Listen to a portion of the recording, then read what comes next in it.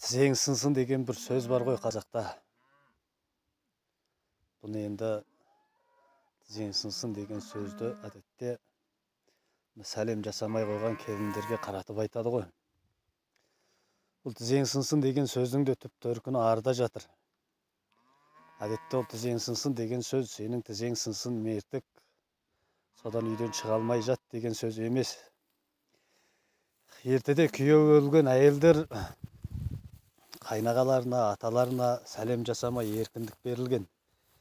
Неге десең ол сенің басың босады күйеуің өлді бағың тайды. Енді талда өз еркіңде. Сәлем жасамауыңа болады деген мағынаны білдірген ғой.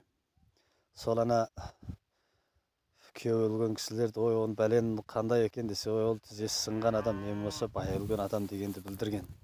Сондықтан үлкен кісілердің әлгі тізең сынсын деп жататыны іс жүзінде сенің жай ғана тізең сынсын деген емес байың өлсін бақытың күйсін деген сөз.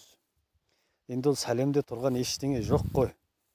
Сәлем иба сақтау аралық сақтау үлкеннің кім кішінің кім екенін білу үшін сол сәлемді шығарған. Иә сәлем жасамасаң баяғы қайнағаң да өліп қайнатаң да қырындағысы келіп тұратыны соған ғой.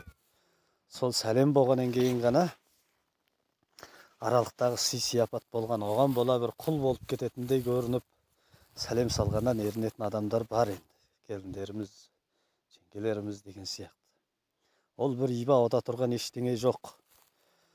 Сол сәлем салмау деген сөз негізі даяр батадан құр қалу деген сөз ғой. Сәлем жасаған адамдарға айтып жатады. Ойбай ұлтап өркенің өссін көп жаса мерейің өссін деген сияқты. Даяр батадан құр қалудан басқа ештеңе емес.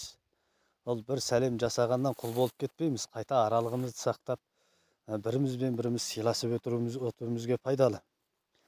Бірде бір ауылда жеңгеміз үй шығарысып жібер деп шақырды енді жолын қуса шешеміз болып келеді үлкен кісі болатын. Барып сандығын шығарып жатқанда бір сандықтың үстіне дем алып отырғанда күйеуі қалжыңдай қалды. Ей андағының ішінде атаның санды атаның бас киімі бар деп еді атасы қайтыс болып кеткен ғой.